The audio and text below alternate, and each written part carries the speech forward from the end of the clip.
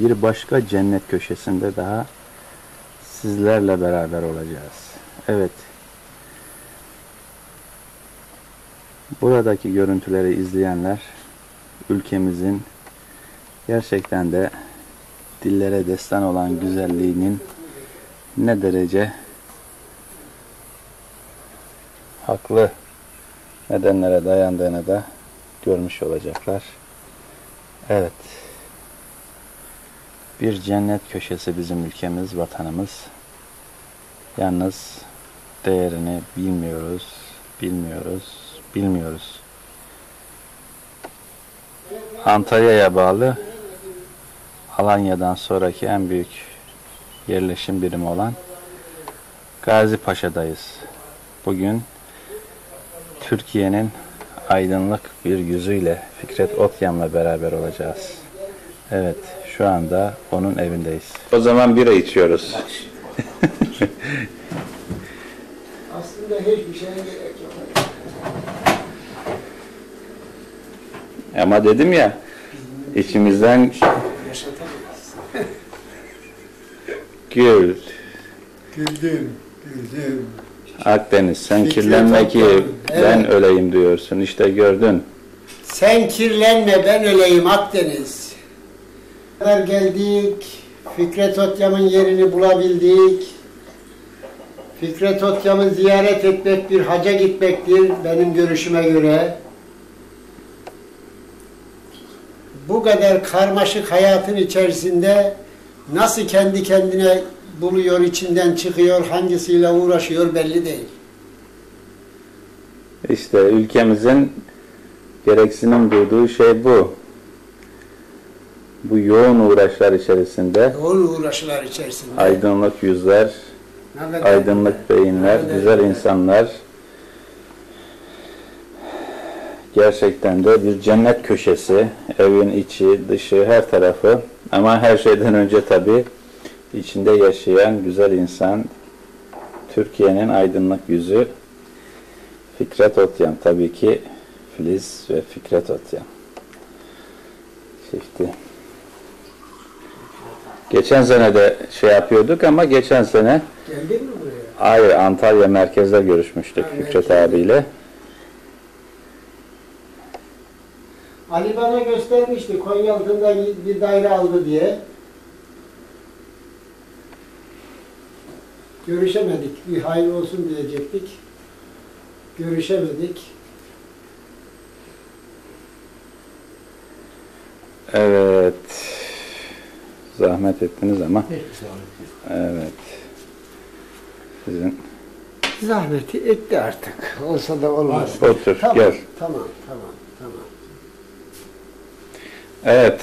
Sevgili abicim merhaba tekrar. Merhabalar, hoş geldiniz. Ee, Sabahları getirdiniz. Gerçekten Evin de dağınıklığına kusura bakmayın. Antalya'dan yeni göçtük. Bir hafta on gündür o oraya buraya, şimdi beş ay uğrayamadık bu sene buraya. O nedenle her şey birbirine girmiş. Daha çalışamıyor, çalışamadım. evet bu Bahçeyle uğraştım, bo- badana boya yaptım. Ee, efendim çiçekler diktim bahçeyi yeni. Yani yaşanır bir hale getirdik burayı şimdilik. Çok güzel. Bir de yerlersek, Her köşe bir cennet. bir de yerlersek. Aşık Ali İzzet'ine Almanya'ya gittik. Bakanlık kanalıyla. Kimden? Aşık Ali İzzet'ine. Eski. Eski.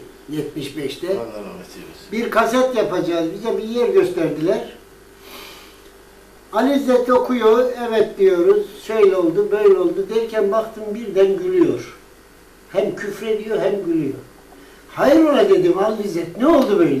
Ula diyor dedim bilmem ne yaptım diyor. Bana diyorlar ki diyor sana cennette 40 tane hürü verecekler. Ben dedim ki diyor sen bir avradını ver 39'u senin olsun dedim diyor. Kendi kendine gülüyor. Baktım ki işte cennet ararsan bura. Cennet ararsan Antalya. Cennet ararsan Türkiye. Hala yerin altında efendim ırmakları akacakmış da güzelleri varmış da bilmem hurileri varmış da bunlar hangi kafayla hala öyle bir şeyler söyler. şimdi söyleyecek tabii de e, sohbet edeceğiz de şimdi bu 75 yılın önünde e, bitip tükenmeyen bir enerji tabii bu ancak ve ancak sevda, sevdayla açıklanabilecek bir şey. Evet. Ee, Antalya tabii ki Gazi Paşa ama e, Türkiye'de dünyada dört bucak hala e, koşuyor Fikret abimiz. Hala güzellikleri derliyor, buranın toparlıyor. güzel ya. Havası Gazi Paşa. güzel. Evet. Gazi, Suyu biraz kireçli neyse alet koyduk. Gazi Paşa. Filtre ediyoruz suyu. Havası güzel. Dün gece Filiz çağırıyor akşam üzeri. Koş koş koş. Ben de arka bahçede bahçe suluyorum. Ne var dedim ya baksana güneşin batışına dedi. Rutubet kalktı mı nasıl biliyor musun? Karşı Adrasan burnuna varınca kadar görünüyor. Güneş böyle yarım elma gibi girdi. Yavaş yavaş yavaş yavaş yavaş. Hanım da bir, bir bardak şarap koymuş. Oraya bakarak da şarabını içiyor. Tabii rutubet olduğu zaman da adama bir yorgunluk veriyor fakat yıkanıyorsun. Sana göstereceğim şimdi. Dışarı duş yaptım. Sıcak oldum çalışırken suyu açıveriyor. Taze su yıkadım. Şurada benim atölye çok sıcak oluyordu. Geçen seneye kadar. Çatı ya. Evet. Hanım acıdı halime. Beş kere, altı kere inip duş yapıyorum. Tam şey sauna orası. Güya izolasyon maddesi koyduk, bilmem ne yaptık. Sonra hanım dedi bir gün geldi baktım ustalar çalışıyor burada. Nedir? Klima koydurmuş oraya. Hmm. Neyse. Şimdi orada rahat çalışacağım. Daha başlamadık. Paketleri yukarı taşıdık. Boyaları falan. Şimdi bütün bu arada yani bu evin günlük hayat. Ben buraya 77'de geldim. Burası bakla tarlasıydı. Şurada da kocaman bir incir ağacı vardı. Şurada şurada. Evet. Ya bu incir nasıl kalkar buradan? E, ev yapacağız. Evet. Dediler ki ya orman idaresinin grader'i var. Hmm. Ya acaba gelir mi? Dedim ya mazot parasını falan verelim. Adam da mezhepeliymiş. Hmm. Ama ona rağmen grader geldi. Seni herkes sever. Fakat şu arka komşuların orada bütün domates, patlıcan, biber ekili. Evet. E, Yol yok, geçecek yol yok. Komşular dedi ya geçsin. Grader bütün böyle domates, patlıcan, biber üstünden geldi. İki üç kere toz vurdu şöyle kökünden beraber. Ne yapalım? Bu tarafa doğru götürdü. Neyse gittiler adamlar. Demek ki 77'de geldik. 1979 buraya yazdım ben. Evet. 27 Mayıs gecesi burada yattım. Elektrik var, su var. En yakın komşumuz Allah. Kimse yok daha zaman. Daha güzel. En yakın. Telefon yok. Böyle aksi bir milletvekili ben demiş bu memleketimde yaşatmayacağım. Dönek eski Ankara neyse Allah selamet olsun. Hastaymış. Ya gelemiyor memleketine 20 yıldır. Ben 20 yıldır, 22 yıldır yaşıyorum burada. Çok sıkıntı çektik tabii. Yani Evet. doğayla. Evet, evet. Doğayla çok. Akrep, yılan, Allah'ım yarabbim. Aa, Her nasıl? o kötü işte. Ya ama zamandan işte yok efendim sarımsak koy kapıya yok bilmem ne yap. Elektrik Öyle. işte şey kısmet diye bir şey var. Öyle mi Celal yani? Kargıl diye bir arkadaşım vardı içe milletvekili. 68 ö- kuşağının başı. Çünkü Türkiye'de çok güzel daha yerler. yani varlar var kısmet diye bir şey var ya. Evet. Geldik burası sessiz sakin daha güzel bir daha ne güzel olur. manzara işte aynı deniz aynı orman hepsi var. Evet. Ulaşım öyle bilmem ne. Çocuğun vasiyeti gibi oldu ya baba bura ne güzel yer. Öldü onun bir, bir vasiyeti gibi. Tabii doğayla çok mücadele ettik. Evet. Param bitti, ev tam istediği gibi yapamadık mimarın dediği gibi. Ev akar bilmem ne yapar. Hala akıyor işte. Şimdi Fikret Baba en güzel tarafın, en güzel başarın eşiğin aynı fikirde oluşu. Canım o tabii. Sizinle ortak oluşu. Başka türlü olur mu? Şimdi bu doğayla büyük mücadele aldı gide yolu 45 gün Filiz inemedi. Evet. Ben küçük mobiletim vardı, ondan gidip geliyordum çarşıya. Ama her şey değişti. Şimdi elektrikli abi, jeneratör koydum, lan bilmem ne yaptım. Yani çare, ölüme çare yok sadece. Evet, çareleri. Aa, ölüme çağırıyor. Her şey olur. Efendim sıcak mı? Bak hanımın atölyesi burası. Evet. Tezgahı burada. Orada Evet. klima var. E, Evet. salon işte koca klima hem yazın hem kışın çalışın. Evet. Komşu sıcak soğuk. Evin yatak odasında var, atölyede var. O zamanlar böyle teke tekli şimdi komple. Ya neyse. Ve bunlar önemli değil benim için. Benim için de nerede oturursam otur, ben Türkiye'nin derdinden kaçamıyorum. Ben Kaçamazsın efendim. Kaçamazsın. Benim de en büyük derdim bu. Gitsen yani Himalaya Dağı'na çıksan memleketin hali Evet. benim gözümün önünden gitmiyor. Şimdi arayacağım gazeteleri daha şurada duruyor. Ya şirket bu. Her hırsızlık şirket ya baştan aşağı. evet. Baştan aşağı şirket. Bir çalmadır gidiyor. Evet. Din, iman, Allah, ahlak, Allah korkusu, peygamber korkusu yok. Camiden, caminin müezzinler, hocalar çalıyor, kilimi alıp satıyor. Din imanı güzel çıkarak Yani kullanıyorlar. öyle Çok bir yere geldi ki asıl da bir de yani Türkiye'nin durumundan beraber benim burada bir kitle var yani güvendiğim o. Yok. Alevi Bektaşi toplumu ha. Yıllardan beri ben bunlara gönül verdim. Kardeşim şimdi bunları bölmek için bu Alevileri Düşer. bölmek için içeriden dışarıdan akıl almaz bir Evet. melanet var. Yani Yezid'in aklı bu kadar ermezdi Aleviler için. Şimdi Evet. bilimsel olaraktan. Şimdi Almanlardan, Almanlara ne ulan size ne? Hazreti Ali'den Hasan Hüseyin'den.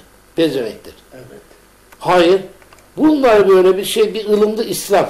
Almanya'ya göre İslam. Şimdi Aydınlık Dergisi Aydın 8-10 bin satan bir dergi. 8-10 bin satan bir dergi. Yani bu dergide Türkiye'nin bütün namussuzluklarını en acı şekilde işleyen, haberdar eden bir dergi. Ama millet alışmış renkli bilmem ne ıvır zıvır şeyler var. Şimdi bir üç haftadır Almanya'daki Alevilerin, Alman şeylerinin, Oryantal, Uzman, oryantalistlerinin bu Türkiye'deki Alevilerin üzerinde bir takım şeyler var. Şimdi içeride Yezidler var, yerli dışarıda var. Evet. Dışarıda yabancı Yezidler var. Yezid çok. Bu uğraşıyorlar. Çünkü niye biliyor musun? Ale, Alevi toplumu akılcı, çağdaş. Saf biraz da. Sen saflığını bırak. Saflığı da aptallık derecesine olursa saflıkta hiçbir işe yaramaz. İyi kalpli diyelim. Temiz saf demeyelim. Temiz kalpli. iyi kalpli. Evet. Ama bu da yetmiyor artık. Yetmiyor. Çünkü karşı taraf o kadar mer merunca işleri yapıyor ki. Şimdi yerli burada efendim keşke burada olsa da tartışsak bir sayın profesörümüz var. O bir yana çeker. O biri bir yana çeker. O bir bir yana çeker. Yani Maalesef. ne olacak bu şeyin bu toplumun hali? Niye? büyük güçtür Alevi. Toplumun Alevi büyük güçtür. Alevi akıl gücüdür. Cumhuriyetçidir, Atatürkçüdür, layıktır. E bunlar istemiyorlar şimdi. Merhaba, Merhabalar. Efendim hoş bulduk. hoş geldiniz. Efendim bunları istemiyorlar. Büyük çünkü Türkiye'nin sömürülmesine, parçalanmasına en büyük engel Alevi toplumu, Alevi düşüncesi, Evet. Alevi Bektaşi inancı, hoşgörüsü, akılcılığı. Bunu istemiyorlar. Şimdi Gazi Üniversitesi MHP'li canların elinde. Şimdiki Başbakanımız Sayın Ecevit bundan iki sene evvel 500 bin dolar verdi araştırma için örtülü ödenekten. Şimdi ben o zaman yazı yazdım. Dedim ki sen Maraş katliamında 103 canın hesabını verememiş bir başbakansın. Bu Alevilerle Bektaşilerle uğraşma, bu taşa el- elini koyma taşın altına, sokma. Bu tehlikeli bir iştir. Sanki öyle demedik. Şimdi ılımlı İslam bilmem ne. Bir de Fethullah Gülen gibi alçak bir şey var yani bir kuvvet var, kudret var. Aa, Amerika destekli adam çekti gitti buradan aranınca Amerika'da yaşıyor. Orada yuvayı açmış nurculuk yuvasını bütün melanetini yapıyor. Hatta gizli iki kere de Türkiye'ye gelip gitmiş. Onu yazdık dedi İçişleri Bakanı ya bu adamı Devlet Güvenlik Mahkemesi arıyor. E sen her şeyi biliyorsun. Türkiye bu adam gelip gidiyor. Niye senin polisin bunu yakalamıyor? Yoksa sende mi? Ne getirdi? Yoksa başbakan üzülecek diye mi? Bırak üzülsün. Şimdi bu nurcular bir yandan, efendim dışarıdakiler bir yandan, yerliler bir yandan Türkiye'yle oynamak istiyorlar. Şimdi ne oldu? İçinde maalesef iki tane de Alevi canı olan bir ekip Türkiye Cumhuriyetlerine gittiler. Güya film yaptılar. Bilmem ne Alevi'yi incelediler. Bilmem ne yaptılar. Çok yararlı olacak. Balkanlara gittiler. Bilmem ne. İyi niyette olsa e, tabii güzel bir şey yani devletin bunu yapması. Fakat bunun altında başka bir şeyler yatıyor. Yani oynuyorlar. Aleviler de katılıyor bu oyuna. Efendim devlet istiyor. Şimdi Sayın Başbakan e, hakikaten Maraş katliamında ben utanıyorum bunları söylemeye. Altı aydır yazıyorum. Ey hükümet buraya dikkat edin. Kitaplarımda var. Evet. Bu Maraş'a dikkat edin. Burada bir cadı kazan. Bu adam benim altı yıllık arkadaşım. Aynı gazetede çalıştık. Ya Otyam. Bana Sayın Otyam dedi. Sen ne demek istiyorsun ya? Gel bakalım. Nedir? Derdin nedir? Demedi. Kim dedi? İrfan Özaydın. Allah rahmet eylesin. Öldü geçen sene. Bana dedi ki ya anlattım dedim ya beyefendi. Buradaki valiyi değiştir. Emniyet müdürünü değiştir. Tapu, posta müdürünü değiştir. Yani burada ne kadar devlet ricali varsa bunlar değiştirin. Hatta MİT başkanlığı, jandarma komutanı, bölge komutanı değiştirin. Burada bir şeyler olacak. Ama dedi sevgili Otyam dedi bana gelen raporlar dedi senin anlattığın gibi değil. Allah hayrını göstersin. abi. Bakın ben dedim bana bunun alevi canlar bildiriyor. Bunlar hiçbir zaman bana yalan söylemediler. Beni yanıltmadılar. Ben istihbaratımı onlardan aldım ama senin devletin memuru sana yalan söylüyor, seni yanlış yola sevk ediyor. Ha benden söylemesi. Geldim, İçişleri Bakanı istifa etmelidir diye Cumhuriyet'te yazımı yazdım. Ve 3-4 gün sonra da Maraş katliamı, soykırımı oldu. 103 can gitti ve İrfan Özaydınlı, İçişleri Bakanı, emekli tüm general, hava tüm generali e, gitti, öldü. Şimdi artık o zaman da yazdım ben bunları da inkar etme tabii. Geldi ağlayaraktan Cumhuriyete. Keşke seni dinleseydim Otyam dedi. Dedim Sayın Bakanım, generalim pişmanlık 103 canı geri getirmez. Bir olan oldu bir kere. Bu size ders olsun. Bu Maraş'ta denendi bilmem ne oldu şurada. Efendim Çorum'da denendi, Sivas'ta denendi. Hep bunlar bu Alevi toplumuna karşı korku, çünkü büyük bir güç, akıl gücü, akıl topluluğu Türkiye'yi bozmak isteyenler en büyük engel olarak Alevi toplumunu görüyor. E ne yapmak lazım bunun için? Bunları birbirine düşürüp bu gücü ikiye, üçe, dörde bölüp kuvvetini azaltmak. Şimdi politika bu. Özetten. Yok efendim Alevi türküler söyleniyormuş da radyolarda, televizyonlarda semah yapılıyormuş da bilmem ne yapılıyormuş da. Hani aklıma sırası gelmişken unutmadan söyleyeyim. Bir de bir soytarlık başladı. Semah oyun değil. Bir tapınma. Bir arınma. İbrahim Tatlıses çıkardı. Söylerken ellerini böyle böyle yapıyor. Şimdi geçen gün yine böyle bir gece barda bir Alevi havası gibi semah gibi şeyler çaldı orkestra. Herkes böyle bal, baldır bacak açık. E, ne yapalım böyle giyinir. E bu ne bu ne bu İbrahim Tatlıses'in yozlaştırması. Ama ne yapalım millet böyle mi? Ulan dedi böyle böyle keşke yani kafalarına da bu Alevilik girse sadece el kol hareketi değil. O zaman daha iyi olur. Şimdi özetle kardeşim aya bakın. Dediğim gibi içeriden dışarıdan Alevi toplumu için büyük bir baskı var. Bu bozgunculuğu yapmak istiyorlar. ılımlı İslam bir kere tahammül edemiyorlar. Şimdi öbürü de diyor ki efendim Diyanet işlerinde bize masa verilsin de bilmem yok para verilsin de bilmem ne yapılsın. Bu parayla marayla olursa bu akıllan olur. Akıllan olur. Ya cemevler. Nasıl herkes camisini yaptırıyor? Bütçe dedim, üç tane dedim ya. Yani bu Alevilerin de akıllısı var işte. Üç tip cemevi. Kültür evi yani. Kerpiçse kerpiçten yapacak en fukarası. Biraz daha zengini beton yapsın. Öbürü bilmem saray gibi yapsın. Yanında dispanseri, kitaplığı. Ya böyle güzellik, bir, bir kere de muhakkak ağaç dikilecek. Muhakkak su olacak. Yine uzaktan baktım mı, "Ulan burası cemevi, Alevilerin tapınma, bilgi, ışık kaynağı yer. Anladın mı? Böyle üç tip çizin. Vallahi ya hiçbir Alevi mimar çıkıp da ben bunu işi yapıyorum. Üç tip keseye göre, bütçeye göre cem evi. Kültür evi diyorum ben. Akıl evi. ışık evi. Kimse yapmaz. E devlet yardım etsin kardeşim. Devlet seni sevmiyor ki yardım etsin. Niye yani yardım etsin devlet? Ya ben vergi veriyorum. E, o zaman de ki ya ben vergi veriyorum. Sen benim işimi yapmıyorsun. Ben de vergimi vermeyeceğim. Böyle şey olur mu? Ve bu ne olur? Birlik, beraberlik. Aa, bu birlik, beraberlikten korktukları için içeriden dışarıdan hep aynı şeyi söylüyorum. Alevilerin ve düşüncesine müthiş bir baskı var. Akıl almaz bir baskı. Oyunlar, onu diyeyim ben. Aydınlıkta ben 3 haftadır okuyorum. Ulan Almanlara bak ya. Necat Birdoğan tabii ki onun şeyini de vermişti. Daha öncelerden de bazı imalarda Canım Nez-. Necat Hoca bir e, nükleer enerji nükleer enerji o anladın mı? Böyle bir ışık saçıyor ki ancak öldükten sonra biraz hafifler ışığı tamamen sönmez çünkü yazdığı kitaplar var. O ayrı bir alem o. Ben onu iki üç günde bir aramazsam işim rahat gitmez. Sağlığından çok ilgiliyiz karı koca. Moral için bak yeniden şurada e, göstereyim size.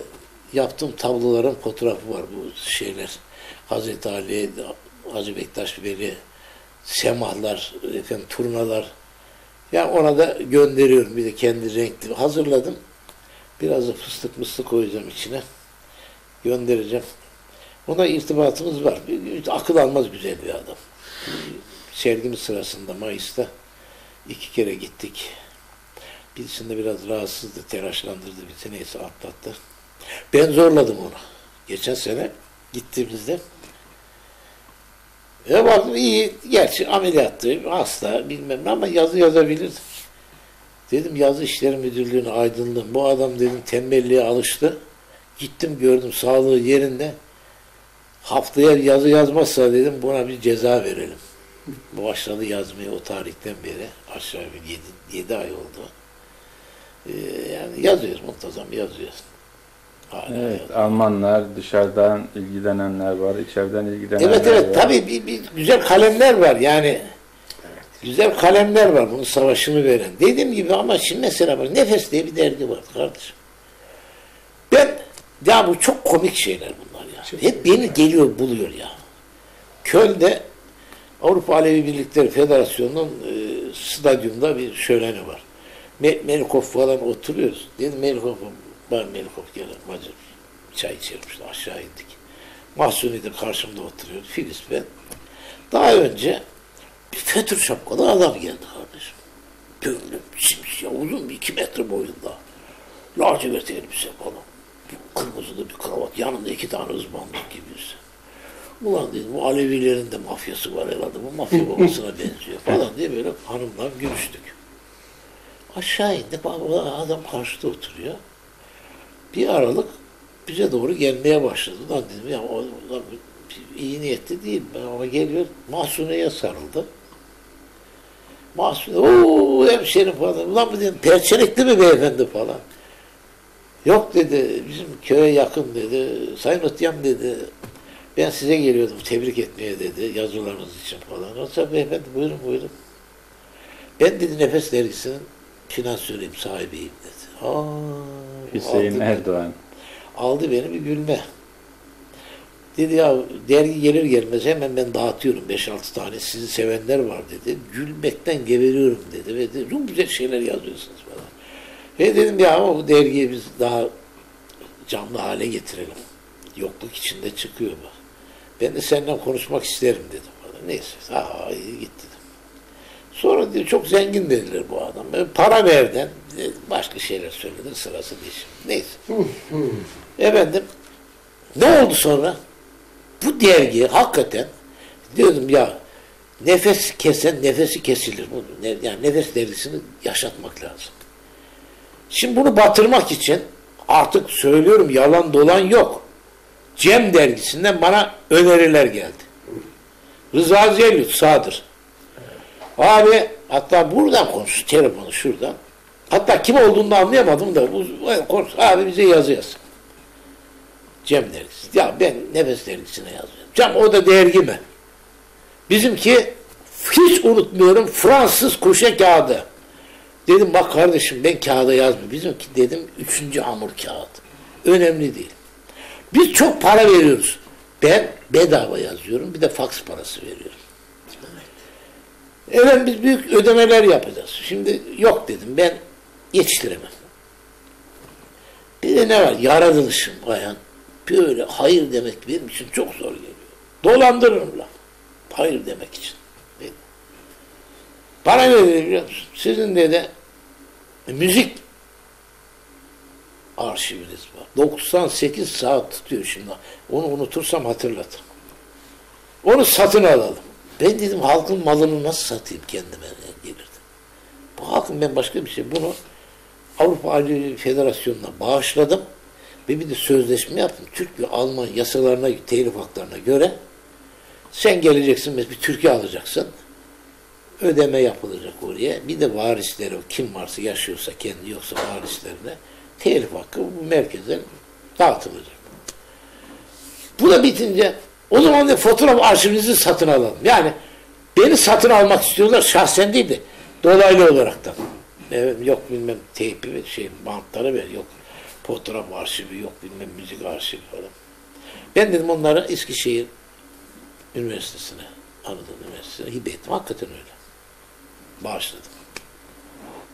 İleride millet inşallah falan. Şimdi o tarihten beri neler oldu, neler oldu, neler oldu. Gittiler geldiler. Şimdi niye bu adamcağız sanki Almanya'da biz buna bu dergiyi yaşat demedik. Abi bin markı da kesiverdi. Üç sayı çıktı nefes ondan sonra kendi olanaklarına ve battı. Kim batırdı? Bu adam batırdı. Çünkü bu adam Cem tarafına geçti. İzzettin Doğan tarafına geçince kesti parayı. E, yok. Bizde de yok. Yani para yok ki ulan bu dergiyi çıkartalım diye. Hiçbir paralı Alevi de bu işe katılmadı. Ve nefes gitti. Hakikaten Alevilerin bir nefes borusuydu o. Onu kestiler. Şimdi Cem dergisinde o da epidir gelmiyor. Çıkıyor mu çıkmıyor mu umurumda bile değil. Şimdi kardeşim gelelim bu müziğe. Yıllarca sırtımda çanta en ilkelinden en moderne kadar teyple, ses alma aracıyla derlemeler yaptım. İşte bu ev Allah göstermesin. Yanar. Gider hepsi. Ya gittik ödül aldığım zaman Hacı Bektaş'la üç sene evvel. Sözleşme yaptık. Hacı Bektaş'ın otelinde. Ali Rıza Gülçiçek, Gülizar genel sekreter. hibe ettim bunları ve şarttan bana CD'ye çekilecek bunlar bir kopya verilecek. Ve bir yıl içinde bunu yapamazlarsa bana iade edecekler. Hasan Yükselir'le neydi o arkadaşın adı ya genç. Şimdi söylerim. Ama- Onların içinden mi yine? E, Turgut evet, Öker, şimdiki başkan değil. Yok yok. O, o- boş ver.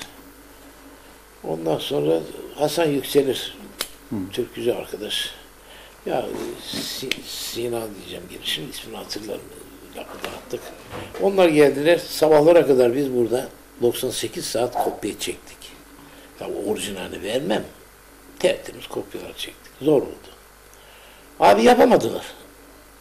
Yine ben bir söyleşiye gittim de Almanya'da. Bunu get, dile getirdim. Dedim ya ben utanıyorum ya.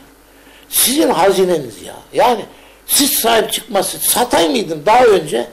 Allah rahmet eylesin. Ya Ruhi abi, Ruhi'si yapı kredide çalışıyordu. Fikret ne istersen dedi vereceğiz dedi. Ya şu arşivini sat bize. Ya dedim bu, bu canların malı.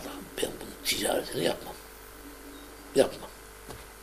Efendim Türk'ü istediler beğenmem bilmem ne yapmam. Neyse bu sefer Manevi Alevi Kültür Merkezi'nde eski başkan Kaya. Baba biz yapalım dedi. Hemen ben yazı yazdım. Gülizar'a, Hasan Yüksel'i falan onların el altındaydı. Faysal arkadaş. Onlar devrettiler abi ve Aşık Daimi'nin kızı Uğurcan. Bir yıl uğraştı. Bir yıl arşivi ve bunlar şimdi hepsi CD'ye çekildi. 40 küsur CD. Ha. Bana da bir kopya gönderdi. En son Mayıs'ta 17 tanesi geldi. Bu kurtardık yani bu Alevilerin. Ya Aşık Veysel yani Aşık Veysel sürü 4 saat sadece. Orijinal sesinden kayıtlar. Ya şey evde Evde. Ankara'ya geldiğinde oturmuşuz. Efendim eski tiyatro sanatçıları, eski gazeteciler, şair arkadaşlar hepsi bir hazine. 15 kişi falan var. Yani şimdi işlerinde Allah yani yaşayan bir ben varım ya. O saat dörtlere kadar oturmuşuz. Ben teyp alırım bunlar yani. Bir hazine. Feyzullah Çınar. Şimdi 9'unda gideceğiz. Bir anma töreni yapıyorlar Temmuz'un. Çağırdı yeğeni. Ankara. Yok yok. Çamşıkına. Şimdi Feyzullah var 20 küsur saat. Mahsuni var 8-10 saat. Efendim Davut Sulari var. Daha hangi birini hatırlayayım ya? Maraş'ta, Pazarcık'ta bütün dedeler, medeler, bu Erzincan'dan, Malatya'dan. Bir sürü kültür. Yani şey bir hazine. Şimdi onları kurtardık. Onu gönlüm rahat verdim. Aynı sözleşme onlar için de geçerli. Ne yaparlar onu ben bilemem. Şimdi hem orijinalleri bende. Şimdi bak yıllar evvel. Demek ki 82 23 Nisan'a. Meşhur piyanist Fazıl Say var bizim şimdi. Ha. Elimizde büyüdü hergelerin biri. Bir gece ben aldım Feyzullah'a götürdüm oraya. Çaldı Feyzullah. Ulan ne Fazıl ya sen de uysana buna piyanoyla falan. Abi bir kaset, bir hazine bir kaset var. Şimdi babası telefon etti. Ulan dedim konsere gidecek Eylül'de. Ona dedim benim bir armağanım var. Hemen elimle koymuş gibi kaseti buldum. Yeni bir kaset aldım. Şimdi şurada kopya yaptım. Bak. Bu Fazıl Say'la Feyzullah Çınar. İşte üstüne resim resim yapacağım. Çocuğa hediye ettim. Ne hazine bunlar. Sen bunlara sahip çıkmak lazım. Ve çıktığımız kadar ama şimdi teknoloji çok var artık. Televizyonda var. Videoda var ha. İyi misiniz? İyi. Teşekkür ediyoruz. Sağ Sağ olun. olun. Sizi de selamlıyoruz. Sizler Ee, sizin de Sizler- çekimlerinizi Evde alacağız. Tam Kaç gündür hayalimizdeydi gidelim gidelim gidelim gidelim. Şimdi Baksana tam evin haline tam diyemediler. Dedim ben sizi yemeğe şa- şehre götüreceğim. Ha, Böyle daha Ha.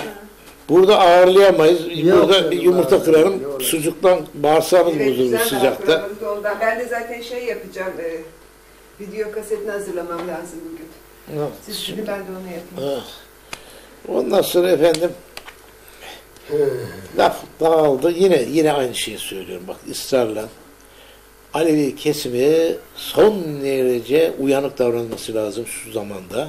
Çünkü içeriden dışarıdan bu birliği, bu güzelliği bozmak için düşmanlar dört bir taraftan kaleleri fethetmek için yola çıktılar. Alevilerin gitmesi Türkiye Cumhuriyeti'nin iki tane damarının kesilmesi demektir. İki ayağının kesilmesi demektir. Ve sallanır. Bu gücü parçalarlarsa ülkeye yazık olur. Cumhuriyete yazık olur. Laikliğe yazık olur. Aydınlığa, ışığa, Atatürkçülüğe yazık olur. Bütün şey ama bunu kime, nerede anlatacaksın, nerede söyleyeceksin? Ulan Yani toplantılar yapılması lazım bilmem ne. Gittim da anlattım çocuklara ama o yetmez. Şimdi yeni malzemeler var ya işte diyorum 3 haftadır aydınlık bunun Almanya'dan böyle şakır şakır şakır merak ettim. E burada Gazi Üniversitesi'nin şimdi daha açığa çıkmadı. Açığa çıkmadı. Hocam müsaadenle sorabilir miyim? Buyurun. Gazi Üniversitesi'ndeki Hacı Bektaş e, Araştırma Merkezi'nin tutumu nasıl? Onu söylüyorum canım. Yani Şimdi hocam eee, benim fikirleri daha çok işte söyleşilerle, yazılarla biliyorsunuz. Sizden hiç hiç ayrı düşünmüyorum. Siz örnek aldığımız aydın insanlarsınız, Evet. sanatçılarsınız. Türkiye'nin gerçek değerlerisiniz. Necat Birdoğanlar, sizler, diğer eee, yazarlarımız, sanatçılarımız. Şimdi Alevilik, Bektaşilik olunca tabii o aydınlar içerisinde hemen ön plana çıkıyor isminiz. Ee, sizin değerlendirmeleriniz de bizim için son üstelik derece ben. Yezid'im be. Sizin, Dini Sizin İslam gibi Yezid'e- Hanefi diyor benim Aynen. e, Can Kurban, dün e, Radyo Umut'ta bir program yaptık. E, gerçek Yezitleri de orada e, belirttik.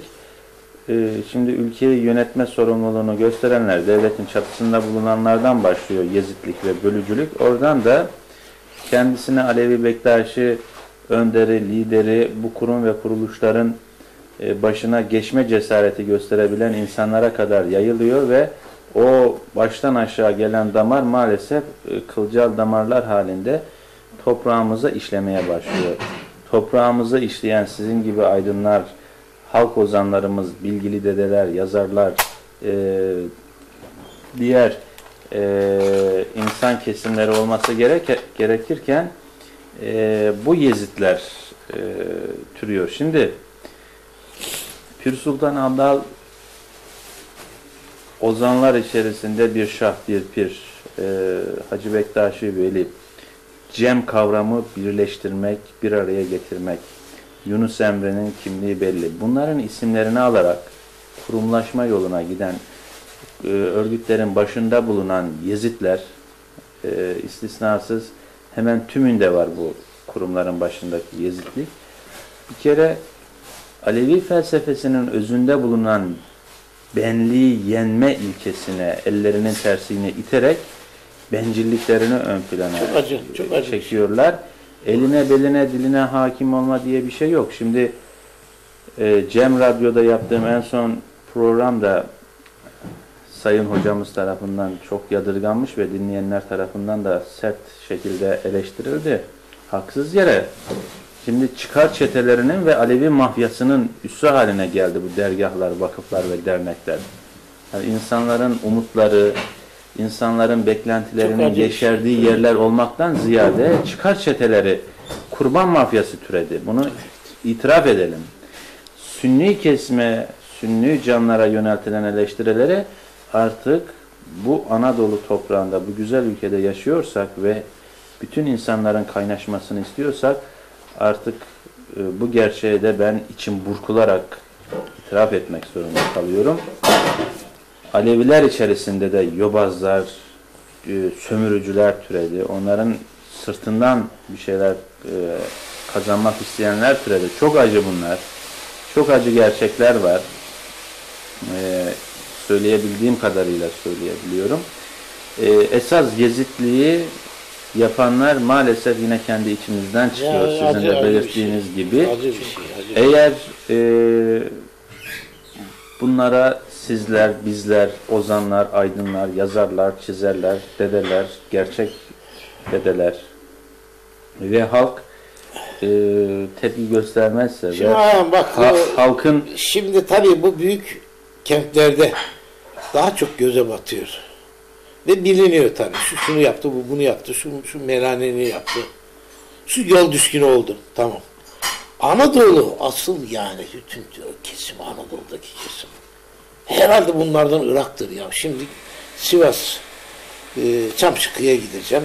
Oradan Tokat'a geçeceğim. Orada Türkmenler var. Bir araştırma yapacağım. Video çekimi yapacağım. Fotoğraf çekeceğim. Ses alacağım falan. Şimdi oralarda merak ediyorum. Onlar nasıl? Ne yapıyor? Eğer buradaki melanet, büyük kentteki melanetler, densizlikler, yolsuzluklar, uğursuzluklar oralara kadar gittiyse vah ki vah. Bak.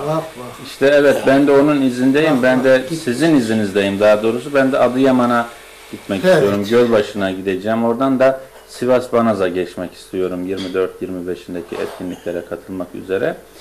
Şimdi evet esas merak edilmesi gereken o. Şimdi bu Alevi töresine göre ha- m, Hallaçların ismini, Mansurların ismini alan Pir Sultanların ismini almalarına rağmen e, bilakis bu Mansur Dağı'nda dara çekildikleri zaman düşkün olabilecek koltuklarının başında bulunan Alevi örgüt liderlerinin e, foyaları meydana çıktıkça, düştükçe, e, yol düşkünü ilan edildikçe elbet belki bir rayına girme olabilir ama esas tehlike dediğiniz gibi işin gözesi bulandı mı?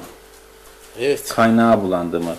Ki ben çok sanmıyorum ama yine de elbette ki e, bu aydınlatmayı, bu bilgilendirmeyi Çünkü bak zorundayız. şeyler oluyor, örgütlenme oluyor, şubeler açılıyor, dernekler oralara kadar gidiyor. yayılıyor. E Evet. oradan o fikirler oraya gidiyor, oradaki yozlaşma. Yani bu planlı, programlı bir şey yani. Bakma öyle Evet. sadece kendi çıkarları için değil. Yani bunu Sistemli birileri bir şey. yapıyor. Ha, bunu birileri yapıyor. İşte ben onu dedim radyoda. Birileri el yordamıyla kotarıyorlar. Yani bunların da sırf bilinçsiz bir şekilde olduğunu e, söyleyebilmek mümkün değil. E, bu işten çıkar olanlar var. Yani devlet bunu bilinçli Şimdi Kültür Bakanlığı'nda olsa, Hagem olsa, Hagem Halk Kültürlerini Araştırma bilmem neyi. Şimdi bu güzel şeyimizi ne kadar değerlendirebiliyor? Hiç. İşte Ozanlar burada. Ozanların eserlerini, kitaplarını, kasetlerini ne derece destekliyor? Hiç. Desteklemiyor. Ee, öyleyse burada bilinçli bir şey Tabii var, tabii, çalışma onu var. Şimdi Yani bir de yani ilgisizlik var. Yani bu şey Alevilik meselesinde değil, Bektaşilik meselesinde değil. Şimdi geçen yıl Adıyaman'ın Tut ilçesinden çıkmış bir çocuk Antalya'da organizatör konserler düzenler, uyanık bir iyi çocuk. Tut'ta bir festival yaptı, kültür festivali, Nemrut'ta. İşte Antalya Senfoni Orkestrası, Gürer Aykal yönetiminde Vivaldi dört mevsim çaldı falan. Söyleşiler yapıldı, bilmem yerli düğün oldu, bilmem ne oldu falan. Oranın gazetecileri geldi, hoş geldiler. Şimdi beş altı gazeteci vardı orada. Biri bana bizim adı Yaman diye yeni çıkan bir gazete verdi. Ya bayağı ağlamakta oldum okuyunca. Adı Yaman ve yöresindeki kanalizasyonlar ve kimyasal atıklı sular doğrudan doğruya Atatürk Baraj Gölü'ne akıyor. Halk da bu suyu içiyor. Yani boklu su içiyor. Olacak şey değil. Döndüm 1 Ağustos 1999'dan itibaren dünkü pazar gününe ve dünkü pazar gününe kadar şurada duruyor aydınlık. Her hafta bunu yazıyor. Bana darıldı. Ödülü reddettim diye devlet sanatçılığı ödülü. Soytarlıktı. Yine ben haklı çıktım. Danıştay olduğu gibi kaldırdı. Keşke ben yanılmış olsaydım. Adam bana küstü. Dedi ya Süleyman Bey bu adı güzel Atatürk Barajı'nda halk boklu su içiyor. Bu kapın babasısın sen. E ben şahsen naçizane emek verdim bu iş için. Ben öldükten sonra ulan baksana herife bak ya bize boklu su içiriyorlar sesini çıkartmadı yuh ervana. Dedirtmem dedim kim sen de dedirtme. Adam duymazlıkla. Beşinci ayda o kadar ağır yazılar yazdım ki eline gene sekreterlik bir yanıt verdi. Şu oluyor ben de palavraya kaldım. Bu halk ne zaman boklusundan kurtulacak? Efendim İller Bankası'ndan borçlanacak. Ya adam çöpçü maaşını veremiyor. Ya çöpçü çöpçü. O trilyonluk işi nasıl yaptırır? Şimdi Keban bizim ilk göz ağrımız. Temel atma töreninde bulundum. inşaatlara gittim. Açılışında bulundum. 800 milyar borcu var. Ve acizde biliyor musun çöp arabasına kadar. Bu ışıklı orada kemandan çıkıyor. O zaman da dedi ya burada zarar görmüş vatandaşlar var, köyler var, iller var, kentler var. Bunlara bir öncelik bu elektrik gelirinden falan. Ya kimse ciddiye almadı. Şimdi Adıyaman Kahta Samsat boklu su içiyor kısmen. Ya, ya, ya ben dedim açlık grevi yapacağım. Ben şeker hastasıyım. Doktorlarım dedi ki bir gün iki gün dayanabilirsin gidersin. Ya ben bu yazıların kopyalarını arkadaşlarıma gönderdim. Bak Hıncal Ulus'tan başka pek ilgi gösteren olmadı yani. Hıncal da dedi ki ya baba bu adam yarın gidiyor dedi Cumhurbaşkanı Demirel için. Aklı başında bir adam gelecek buna ses verecek falan. Şimdi Adıyaman ben en hafta yeni bir şey var mı yok mu en nihayet yapamayacağız dedi belediye şu kadar para lazım devletti İller Bankası. Şimdi İller Bankası MHP'ye bağlı. Çünkü Bayındırlık Bakanlığı. Bayındırlık Bakanlığı'na bağlı İller Bankası. ikisi de MHP'li. Diyorum ki yazımda ey Devlet Bahçeli. Ya bu kimyasal atıklı boklu sudan MHP'liler de içiyor. Var şuna el koyun. Nedir? Başka bir çare bulun. Yani bu yazık değil mi bu halka? Bu zulüm bu. İnsanlık suçudur bu. Abi Türkiye o kadar böyle kendi derdine değil de yani olmaz işlere düştü ki hiç bana dedi ya halk boklu su içiyor. Hatta biri bana dedi ya halk boklu su içme lazım. Sana ne oluyor? Sen niye intihar etmek istiyorsun gidip açlık grevi yap. Allah Allah. Ya ben bu halkın gözü, dili, kulağı olmaya çalıştım 53 yılından beri. E yani hala öyleyim. E yani ben buna sahip çıkacağım, mecburum bu aydınlık göreyim, yurtseverlik göreyim. Ben bundan şan şöhret olmadan gelmişim 75 yaşına. Ya ölsem ne olur, biraz daha yaşasam ne olur? Ama halk boklu içmesin. Şimdi evvelki sene televizyon seyrediyorum burada. Adıyaman köylerinde, Urfa'nın köylerinde, Harvamas'ın bebeler öldü. Doktorlar geldi, Ankara'lara götürdüler, profesörler geldi incelemeler. Ölüm sebebi anlaşılamaz. Abi ben bunu çözdüm ya. Kadınlar, gebe kadınlar, doğusa kadınlar, bilmem neler, doğum yapanlar bu boklu sudan içtiler. Sütten bebeler zehirlendi, öldüler. Efendim, şimdi anlaşıldı değil mi? Bebeler ölüyor ya. Yani ne biçim vicdan sizde? Ben söyledim, dedim yahu e, çoluk çocuğu olmayan çocuk acısını bilir mi? Bu acı bir tenkittir. Cumhurbaşkanının çocuğu yok. Başbakanın çocuğu yok. Devlet Bahçeli'nin çocuğu yok. E bunlar yetki bunların elinde. Bizi bunlar idare ediyor. E çocuk olmayan o acıyı yani üşüttüğü zaman, hastalandığı zaman o acıyı duymayan nasıl gider de yani Haran Ovası'nda ölen bebelere ilgi gösterir yani. Ne dediyse abi hiç kimse orada olmuyor. Dur bakalım şimdi başka bir şeyler yapıyoruz. Ve Evet. ben bunu yürüteceğim. Ya Yürüteceksiniz. Türkiye, yürütüyorsunuz. Türkiye'de böyle bir acayip bir şey oldu. Bak şimdi meclis de şaşırtıyor. Efendim başbakan diyor sel var, efendim deprem var, şimdi bulandırmayın işi. Ya herif hırsızlık yapmış. Komisyona gelmiş. Komisyon suçlu görmüş. Bulandırmayın, ko- koalisyon bozulacak. Soytarıya bak. O ne oldu? Biraz dün yine aynı komisyon başka bir şeyde. Ör- Yılmaz'ı yine suçlu buldu. Bugün tahmin ediyorum Çilleri de bulacaklar. Şimdi bu meclisten ya insan şaşırtıyor. Yani çıksın mı hırsız yaptıysa yap, yapmadıysa aklansın gelsin. Ama böyle yok bilmem ne yazıyor. Diyarbakır'a gidiyor. Er giyinmiş er haline. Herkes yapıyor ya bu da yaptı. Karısı da giyinmiş. Şimdi acıyorum da benim arkadaşımı sarsak ya. Oturdu. Ulan bir kere sen ilk defa çadırda oturuyorsun be adam. Arkasına yaslanınca gitti kıçının üstü. Yani nerede bunun arkasında tutan karısı marısı da ya- yardımcısı var. Başbakan yardımcısı. Ulan adamı tutun. Oturdu. Acıdım ya geriye kaykıldı gitti. O egalle bilmem neyle. Bu soytarlık ya. Yani nasıl oluyor bunlar? Adam şimdi ya ben bu evi satacak olsam karım notere der ki sağlık durumu hakkında rapor istiyorum. Rapor. Birinci yerinde. Evet, Aa, Abi devleti idare ediyorlar. Biz hiç rapor rapor isteyemiyoruz bunlardan. Yani yok istenmiyor. Ya herif yanlış yapıyor. Yanlış üstüne yanlış yapıyor. E bunu yazıyoruz, çiziyoruz. Kimsenin umrunda değil ya. Öyle bir yere geldi. Evet. Ben yani acıyorum. Bak tam lafımı bitireceğim. Yok, Vartolu. Vartolu Ali Haydar Dikmen diye dünya güzeli kabri nur olan bir amca vardı dediler. Varto tarihini açarsan bu adamdan ve ailesinden çok büyük bölümler var orada. Bu o adam o zamanlar 25-30 sene CHP il başkanı, ilçe başkanlığı yaptı Varto'da. Demokrat Parti bunlara satın almak için dünyanın zulmünü yaptı. Yıkılmadı. Varto. CHP'nin kalesi. İşte oğulları oldu. Milletvekili oldu. Çocuklar avukat da oldular. Bilmem ne oldular falan. Tekin ileri dikme. Aynı babası gibi. O da şimdi e, muhterem bir adam. Ankara'da yaşıyor. Eski Muş milletvekili. Bana abi tedavi görası dedi ya Otyan benim Paşa'ya götürür müsün? Götüreyim dedim tabii. Paşa'ya da böyle böyle. Tabii al gel dedi. Gittik meclis. Tekin de var oğlum. Fotoğrafçılar da meclisini ayarladı. Ali Haydar Bey dedi. Kaç yaşındasınız dedi paşa. 76 yaşındayım paşam dedi. Oo, Ali Haydar gençliğinin kıymetini bil diye sırtını tapışladı. Şimdi bu adam acılar içinde. Bu kadar güzel bir yurt sever adam ya. Bana bir mektubunda diyor ki demek ki 30 sene evvelki mektup ya. Sevgili evladım Fikret diyor. O güzel ellerinden öperim seni diyor.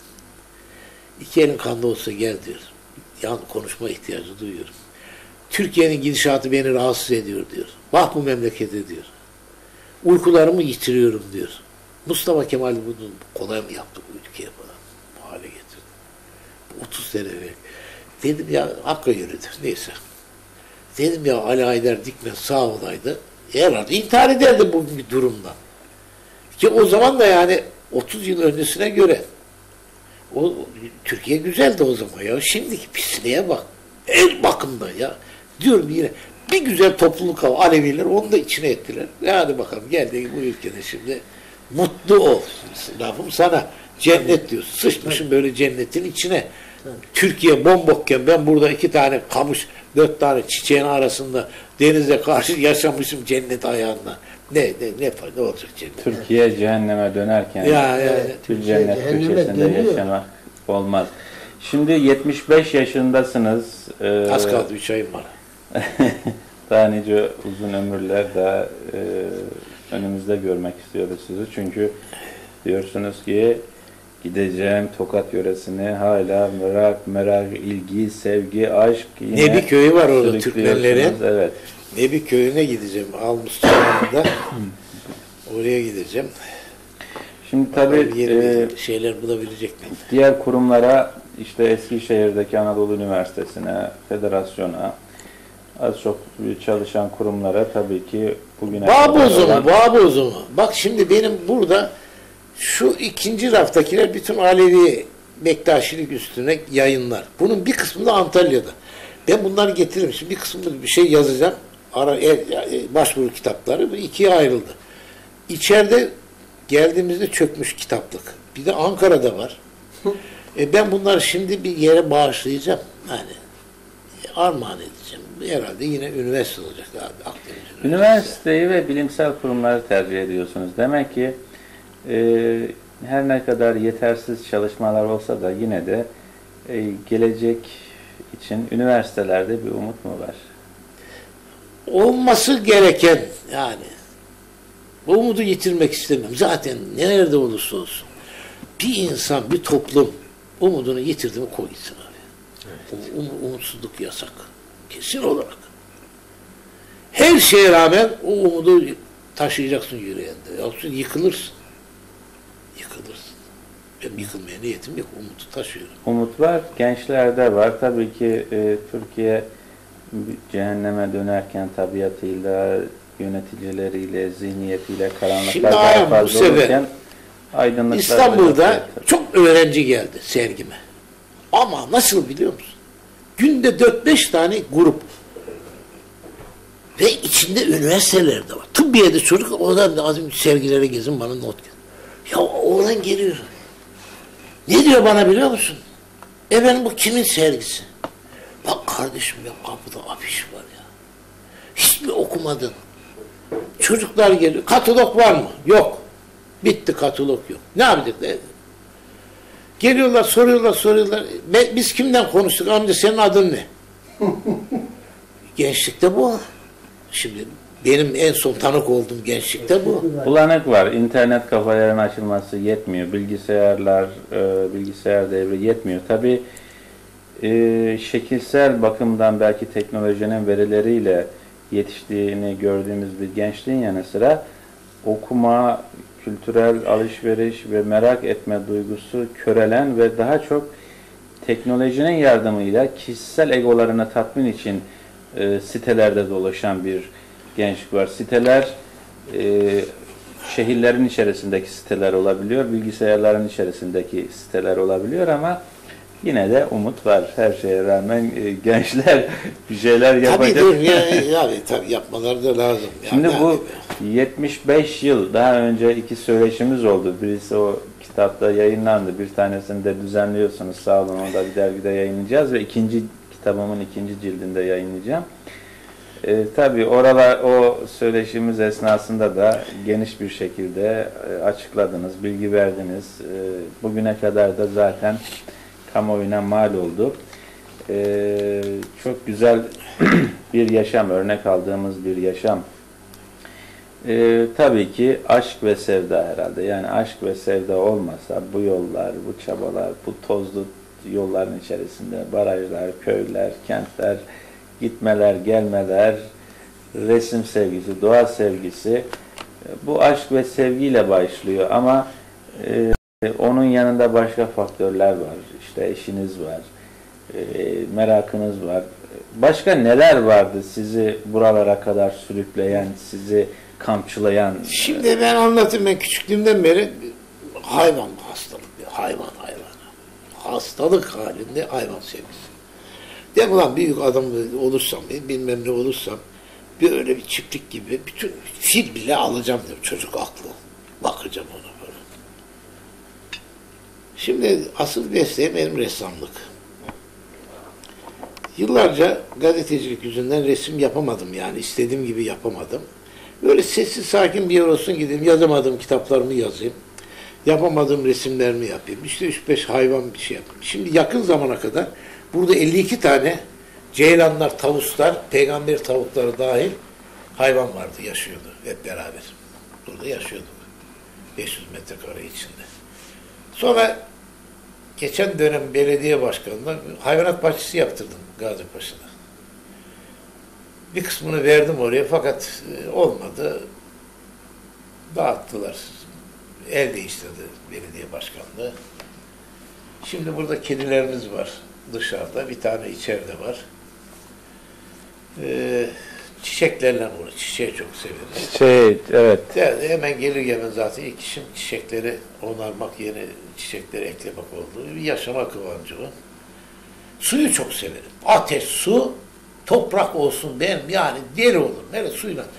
Günde bir herhalde ben bir ton su harcıyorum. Yıkanırım, ıslatırım yeri, bahçe. Bütün ağaçlar sanki ya baba yanıyoruz sen niye bizi ıslatmıyorsun der gibi bakar bana. Gece yarısı kalkarım motoru çalıştırırım, bahçe sularım. Bu arada tabii 20 yıl içinde yazamadığım kitapları yazdım. Diğer kitapların 5. 6. baskıları yapıldı.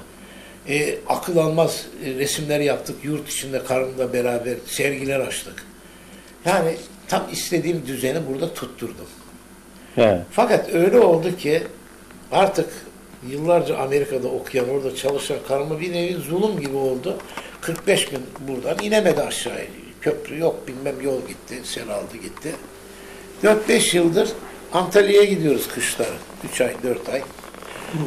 Bu sene Mayıs'taydı sergi. Tekrar taşın başın olmadı. İşte 5 ay uğrayamadık buraya. Ev hakikaten evlilikten çıkmış. İşte tamirat yaptık, bilmem ne yaptık. Ve tabii koruma yok. Allah'a emanet kapıyı çekip gidiyoruz. E, sevdiğimiz adamlar var. Gelmişler, sulamışlar, bilmem ne yapmışlar. İşte kimisi gübre atmış, bilmem ne yapmış falan. Biraz da bahçeyi hazır buldum temiz bir vaziyette. Bu meşgale başka bir şey. Yani yazı yazdığım zaman mutlu oluyorum. Resim yaptığım zaman kitap geceleri okurum yattığım yerde. Ama başka bir şeylerle de uğraşmak lazım. Yetmiyor bu. Bu işte dediğim gibi hayvanlarla uğraş. Efendim bahçeyle uğraş, toprakla, suyla. Ateş yakmaya bayılırım. Şimdi göstereceğim sana düzenimi.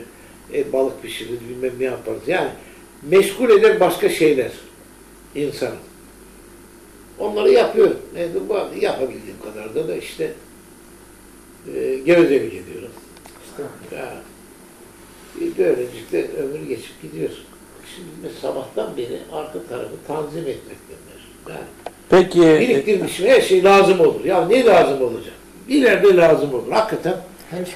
her şey yan dağın başındayız yani en yakın komşumuz Allah'tı yakın zamana. Peki ürettiniz, yarattınız gerçekten de e, artık bunu söylemeye gerek yok. Ayhan Aydın olarak da ben e, çok çok seviyorum. Yüreğimle seviyorum kitaplarınızı, çalışmalarınızı, resimleriniz. Bir e, güzel dünyaya götürüyor bizi. Dünya Anadolu e, sevdalısı olmaması mümkün değil sizi izleyen bir insanın. Bunların ötesinde resim, kitap, araştırma, inceleme, gazetecilik, 50 yıllık bir birikim, arşivler, artık evlere sığmayan arşivler. Bundan sonra da aynı şekilde devam edecek. Ölene kadar Ama hiçbir şekilde yani- yok. Yani teknoloji de gelişiyor. Şimdi benim burada 5 tane ansiklopedi vardı kardeşim. Söylüyorum ya kütüphane çökmüş. 30 cilt, 28 cilt. Hadi şu bilgisayarda iki tane diskette. Buna gitti artık. Ne şimdi? Geçen bilgisayarım şurada duruyor. Burada bir çocuğa vereceğim. Çok sevdiğim böyle. Daha dede dede diye küçücükken arkamdan koşan bir berberin çocuğu. Şimdi ortaokulda mı ne yani ona ben işte yani kendi torunum gibi defterin kalemini yağ bilmem ne falan şimdi bilgisayar. O oldu kaç milyon bilmiyorum ona hediye edeceğiz. Hazır burada. Dedim geçen gün çevirdim bundan kurs var mı dedim öğren baban da öğrensin. Sana bir kolaylık yapacağım falan diye. Veriyorum çocuklara. Şimdi diyeceksin ki niye bir okula vermedin? Ya ben askerliğime yedek subaylığımı Ankara Bando Mızıka Hazırlama Ortaokulu resim öğretmeni olarak yaptım. Okulda yukarı çıktım. Bir büyük bir şey balkonlu bir yer var. Kapı kilitli. Asubayı çağırdım nöbet subayını. Aç kapıyı açtı. Ya çok güzel. Müzik seti vardı ama şey değil. Plak büyük long player'lerdi. Plaklar var. Dedim ya meğer büyük çocuklar için. Lan nedir bu? Efendim işte burada müzik odamız bizim. E peki niye açmıyorsunuz? Efendim yasak. İndim albaya. iki tane albay var orada. Biri okul komutanı, biri eğitim komutanı. Bu ne eğitim komutanı? Ya albay ben böyle böyle bir yer keşfettim yukarıda. Bu öğrenciler niye yararlanmıyor? Bu, devlet bunu almış. Bunlar dinleyecekler. Ya kırılır bilmem bunlar demirbaş. Ya albayım sorumlu getirirsin bir assubay veyahut da birisine. Sonra dinlemez olurlar mı? Kitlemiş adam ya. Açtırttım ben dedim Müslümanım sorumlu. Çocuklarım gelin dinleyin. Boş zamanlarında. Şimdi bu bilgisayarı buradan bir okula versin, müdür odasına koyacak. Yani öğrencilere de yani ulan hiç olmazsa bir fe, kişisel olsun da çocuk bir tane böyle bir şey yapsın, hediye et. İşte bu paket duruyor orada. Doğru. Yani ne ne yapacak başka? Şimdi Bozuk, dediğim gibi bozuk, bozuk, bozuk. şu merdivenin altına bak. Burada en azından 500 tane kaset var. Arşiv yapılmış. Evet. Kendime ait halk türküleri bilmem neler bilmem neler kutular için artık raf kalmadı. E şimdi bunların hepsi 6 tane CD'ye sığar birader. Yani teknoloji diye ne yapacaksın diyorsun. Ha şimdi alet aldık. E şimdi fotoğraf arşivi. E ben bunların hepsini disketlere alacağım. Artık böyle bir kocaman kitaplar, raflar yaptırmaya lüzum yok. Teknoloji akıl almaz. Daha bu aleti alırken demode oluyor.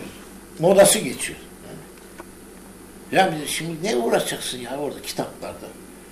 Hepsini bir şu kadar tenekenin içine sığıyor bir kitap ya. Basarsın düğmeye ekrandan oku. İstersen kağıt şıkır şıkır basıyor. Şimdi hocam müsaadenle yani. bir şey sormak istiyorum. Bu kadar teknolojinin ilerlediğine, bu kadar her şeyin pratiklendiğine, bu kadar dünyanın birbirine yaklaştığına rağmen hala Türkiye'nin yönetimi eskiyi böyle kalıplaştırmak, çeşitli gözlüklerle bakmak. bu- Buna kimse ayak uydurur, kimse Ya. bağlayamaz bunu. Zaman hepsi olacak. Bak eskiden postacı oradan bağırırdı. Baba baba üç tane kurt köpeğim vardı. Baba baba babalar ne var? Bağır- Bana böyle böyle yapardı. evet. Ha. Şey, Ben telefon var, Yok burada telefon, herif telefon. Ya 6 sene ben burada telefonsuz kaldım. Herif demiş posta müdürüne, eski milletvekili. Ulan seni sürdürürüm bu adama telefon bağlatırsan diye. Neyse. Şimdi ya, bağlattım, başkalarına da bağlattım. Bilmem neyse geç onların dertlerini. E şimdi ne var? Evimde faks var. İki tane çanak anten var. Yani teknolojiden yararlanacaksın. Ha, bu arada yani insanlığı yitirmemek lazım. Hocam biz sizin yaşantınızla, sanatınızla, düşüncenizle, verdiğiniz savaşla, şahsınızla hayranız size her yer. Öyle ya şimdi oradan Ama bak, uzak ya bu- düşüyoruz. Ne Hep yapacaksın? uzakta Ya ne yapacaksın uzak? Yani Faydalanamıyoruz. İlla olur mu? Yazı yazıyorum. Yazı yazıyorum. Sergiler açıyorum. Yani illa Atatürk'ü ben de görmedim. Yani görmedim diye yani sevdim mi Atatürk'ü? Evet, sizleri okuyoruz, görüyoruz. Sergilerini, her şeyini. Yani teknolojiyi de seviyorum birader. Bu yaştan Evet, sonra teknoloji. bu bilgisayardan yani şimdi faks geçiyor. Eskiden daktiloda yazardım. Şurada faksı koyardım aydınlığa. Halbuki şimdi burada yazıyorsun, düğmeye basıyorsun. Yazı orada iki saniye. Orada yani. çıkıyor. Niye ben bundan salak mıyım bunlardan? E, olanağım da var. Yararlanıyorum gayet tabii. Yararlanıyorum. Peki Zor sıkılmazsınız ama sıkılmazsınız ama diyelim ki sıkıldınız. Sizi e, neler tatmin ediyor? Abi Ne- gezi gezi gezi gezmek, Gezi gezmek, gezmek. Gezmek. Gezmek kadar güzel şey yok ya. Yeni yerler görmek, yeni insanlar tanımak, yeni ufuklar açmak, yeni. gezmek ya. Gezemediğim zaman da açıyorum televizyonda. Şimdi burada yok kablolu. Antalya'da bütün hayvanlar, doğa, bilmem ne, insanlar, yaşama dünyanın dört bir tarafında gezemediğim zaman işte onu seyrediyorum. Hocam bir Kendim de sormak Ta. Yemenlere kadar uzandım. Bu kadar güzelliğin içerisinde tabiatla iç içe bütün sanatınla, bütün çeşitlerinle bu gibi bu rahatlıkta, serbestlikte günün birinde Ankara veya Antalya'ya gittiğin zaman daire hayatı sizi sıkmıyor mu? Ya orada da kuruyorum kendi düzenimi. Şimdi apartmanda ufacık balkon var. Orayı gülistan yaptık, çiçek.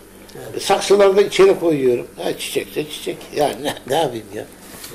Sık, ne sıkılacaksın? Cennette deyip durma. Deminden beri adamı. Cennet. Ben kısaca bir şey söylemek istiyorum. Diyorum ki şaştım düzenin elinden. Ne yazayım bilemem ki şaştım düzenin elinden. Ülke dertli gülemem ki şaştım düzenin elinden. Düzen hep anamı düzdü. Yasalar yoksulu ezdi, susurluk oyunu bozdu, şaştım düzenin elinde. Din adına söyler yalan, ülkeyi ettiler talan. Dinli dinsiz hepsi yılan. Şaştım düzenin elinde. Yazıcıoğlu niye doğdum, doğalı dertlerle doldum. Yaşasam da çoktan öldüm. Şaştım düzenin elinden. Soyadım biraz yumru herkese batıyor ama diğerleriyle hiç alakası yok. Evvelce başkaydı soyadım, Ne şimdi değiştirdim. O öyle olsun. He, Yani. Değiştirdim. Şimdi bak. Allah rahmet eylesin. Aziz Nesin'den konuşuyoruz. Evet. Yıllar evvel, yine 25 sene falan oldu. Türkülerden konuşuyoruz. Ya Fikret dedi ya. Eğer dedi bir ülke baş kaldırıp türkülerini düzelseydi dedi, Türkiye çoktan düzelmişti. Pis Sultan Abdal söylenir söylenir. 300 seneden beri, 400 seneden beri ülke yine aynı ülke. Şimdi sen bu düzen, düzen elinde. Ya işe yaramıyor, şiirler de işe yaramıyor. Başka Yaramıyor, bir şey evet. yaramıyor. Başka ne, nasıl edelim? Hangi yolu- yakayım orada? Ha, bu sizin düzenli düzensiz diye bir şey yok. Zaten bir kısmı e, Antalya'da, merkezde var. Ankara'da. Evet, işte bak şimdi burada bütün bunlar şey. Alevilikle ilgili Evet, olan onunla ilgili. Ondan sonra efendim. Bu, kasetler, bu kaset çektim bir videolar. sizin çektiğiniz çekimleriniz. Evet, bunlar böyle. Evet. Ondan sonra eski makineler efendim. Bu dosyalar gelir gider bizden muhakkak. Fotoğraf, film arşivi. Diyalar. Diyalar evet. Evet. Ondan sonra efendim bu şey. Resim bunu biriktiriyoruz fazlaları. Fazlalar. Evet. Efendim. Şöyle. Çok sevdiğim satmak Hiç aklımın kenarından kenarından geçmiyor. geçmiyor. O tablonuzdur. Evim, evim, evimin gülü o. Güle, evet. Evet ona bina Semahattin Cemal. Evet. Başka Sonra şöyle bir... bu da benim tabi ters geldi ışık. Yok alıyor. Orijinali Almanya'da. Evet. Almanya'da büyük bir Gülizar vardı Evet. Şimdi bak şunu, Şöyle evde bir masanın üstünde gösterebiliriz. Necat Yıldağ'a göndereceğim. hmm, Şöyle bir ışık daha bir güzel bir ışıkla şey yapalım.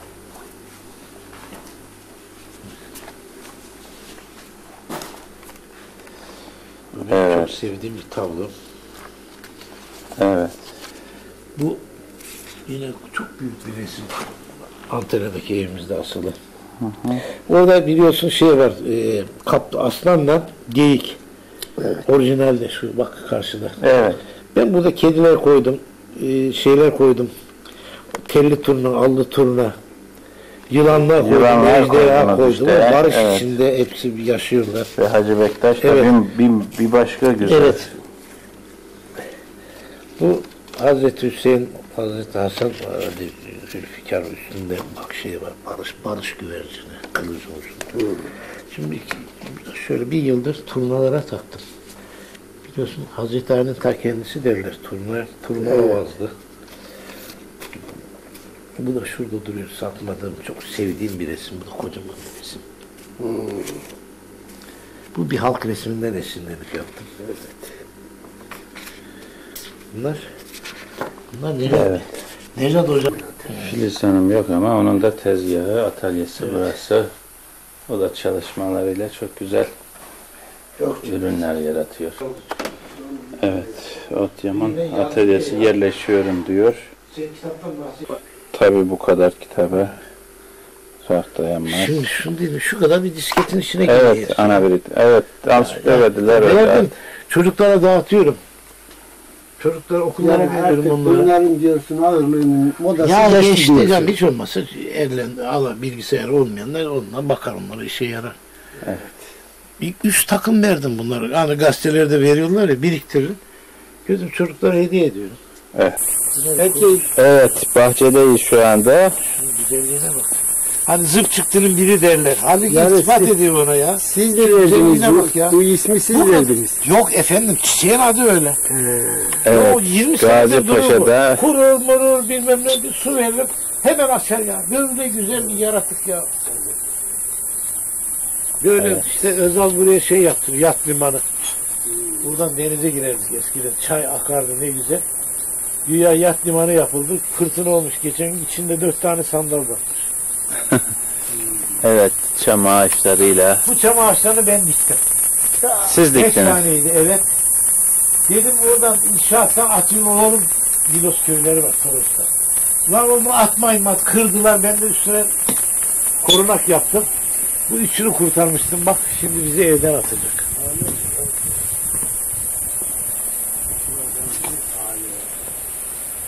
Bir tane zeytinim var. Hepsini siz yetiştirdiniz. Evet evet kendi elimden. Şimdi buralara şey yapıyorum. Halep ya, halep. Yürü de git. Efendim bu şey pikan diye bir ceviz var Amerikan cevizi ince. Çok kabuğu çok incedir ve çok yağlıdır. Bu Bu güzel erik kendim Evet. ya şey yemişler. Daha olmadan baksana. Şunun evet güzelliğine- bitirmişler burada. Baksana bak şunun güzelliğine bak ya. Bu mor olur bu. Hmm. Yani gelen giden yemiş. Hocam siz Afiyet şeker dediğince olsun. buraya herhangi bir bakıcı falan Yok, filan yok, yok, olmuyor. yok, yok. Evet dallarda Çok erik. güzel bir eriğim vardı. Onu bitirmişler. Bu ayvayı geçen giderken budadım. Şimdi bunu yeni diktim limon. Güzel tuttu. Bu çok güzel bir yemiş. Bu öyle. Bu öyle. Böyle nefis bir Türkiye'den değil bunlar yabancı şeyler. Baksana burada veriyor artık. Görüyor musun? Evet. Ahu gibi bir şey olacak bunlar. Şuna bak. Evet. Uzakta dağlar. Toroslar. Ve zaten dağların eteğinde.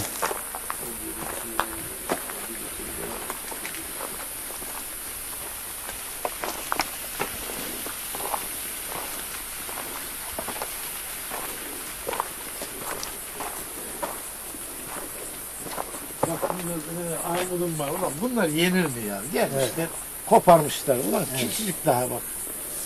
Erikler büyümüş. Armut koparmışlar. Bunlar şey olmaz ki yani. Yenmez gibi tadı yoktu bilmem ne. Zeytinleri Olmuyor. İş sonu yarın. Evet. Bu Yazıcıoğlu bir de sen geçen sene bizi çek al. bak geçen sene Dur bir de. Evet. bunu koydum. Bak ne güzel bu sene tatlı ekşi bir limon bu. Nefis bir limon. Bir dakika az ilerle gel. Hem fotoğrafımız ha bak şeftali Şeftalim bu sene çok iyi. şeftaliler mükemmel görünüyor. Evet, evet. Bak bu da burada şeyler var. Geç tarafta. Evet. Kaktüslerim var. Yukarıda bir kale kalıntısı var Evet. biraz. Şey mi?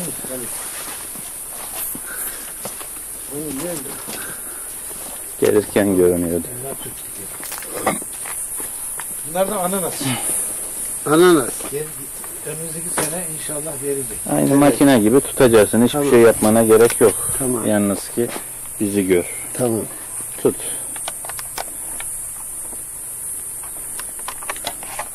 Hem kamera bir de fotoğraf çekiliriz. Evet. Evet. Bak bu da ünnap denir biliyor musun? Burada iğde diyorlar. Sadece gör. Tamam. Diyorlar. Evet. İki tane çık. Bayağı da sıcak oluyor değil mi? Ya ya tabii tabii. Şey, E bu dağın tepenin yamacı olduğu için Evet, daha da sıcak evet. oluyor. Otlar kuruyor. Gördün mü? bak burada Evet. yine Görüyorum. Tabii. Nasıl görüyorsun? Aynen görüyorum sizi. Aynen görüyorsun. Bir de fotoğrafımızı çek. Evet. Bir dakika.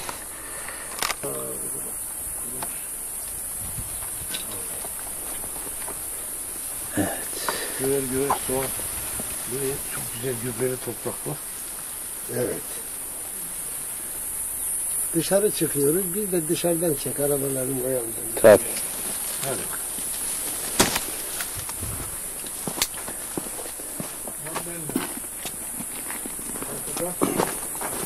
Muz. Muzu.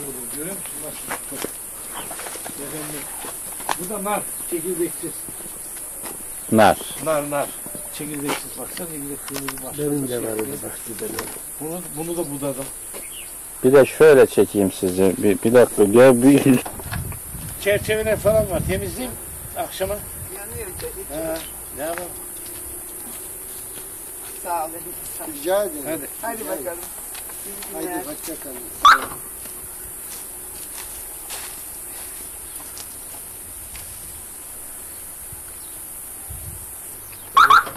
Şu merdivenleri yukarı çekin.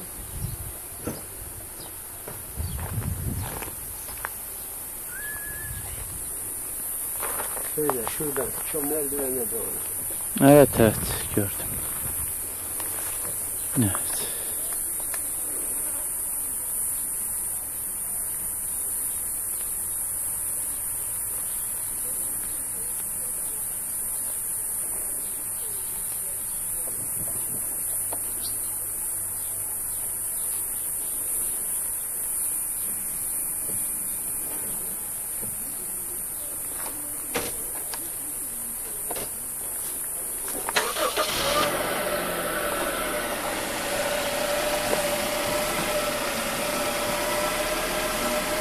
Evet yukarıda eski kale Kalıntı. kalıntıları var. Dağ tepelerde de varmış. Tarihle doğa iç içe, yaşam iç içe. Evet. En güzelini yapmış belki de.